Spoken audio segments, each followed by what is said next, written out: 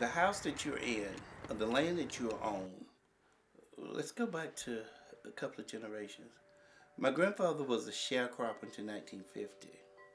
And that's when they bought the farm here. And he and his children moved out here, he and three children. And uh, he raised us here. And we were taught that at the end of the day, the family was most important. And so, as we had ups and downs, like every family, we tried to keep all of our family business contained to this to the house. Uh, if anything went wrong, the family unit came together to take care of it.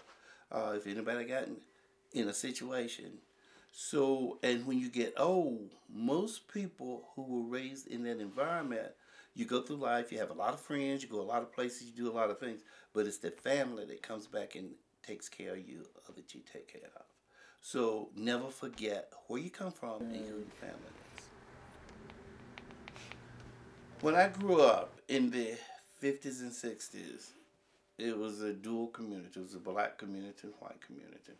You know, we went to all black churches, we went to all black schools, we didn't go to places white people went, you didn't go to the restaurants. Everything was black. So there was nothing wrong with it because that was our comfort zone. Uh, that was the way it was.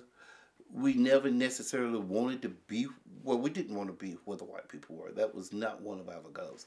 And so the black community didn't go for integration to be around white people.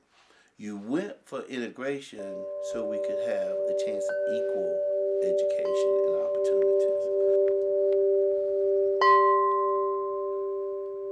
I like people, but I beat to my own drum.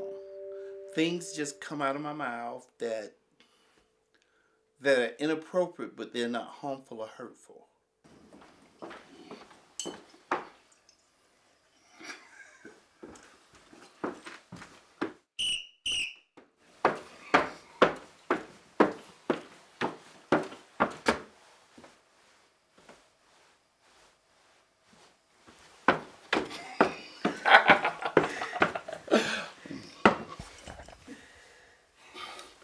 So much for being a drum major.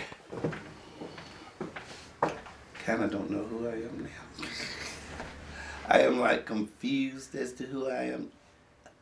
I'll do little annoying things like uh, I'll say if we're going through a door, I'll tell you an example where I did this. I did it in a hospital lobby. It was me and another guy standing there. The elevator door opened. And I took one step and I backed up and I said, white man first. So the man went and got in the elevator. And so we both get in the elevator. He says, I don't believe I did that. I really don't believe I did that. He says, I'll never do no mess like that again. So we chat all the way up. Elevator door open on the fifth floor. I take a step to get off. And then he did too. And I backed up and I says, you know the rules. And this is me being young, thinking I was cool, hanging out with people from the hospital. They let me run with them, or maybe they ran with me. and that's it. You know more about me now than I know about myself. I don't think of myself as a local celebrity.